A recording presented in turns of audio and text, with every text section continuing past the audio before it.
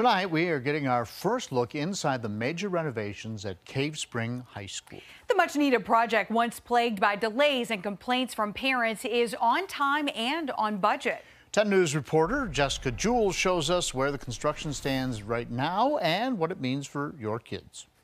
Cave Spring High School students are still spending their days in trailers, but they're closer than ever to moving in here, what will be a major upgrade. We've been telling you about plans for this massive project for years, and now finally we're seeing it come to life.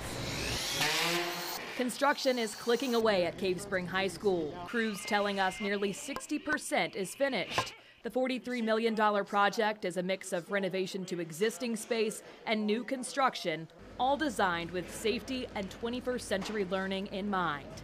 While some buildings still need a whole floor added, other parts are really taking shape, including a mock classroom to get a better idea of how to turn the blueprints into a space for student success. Crews broke ground on the project last winter and completed demolition in May.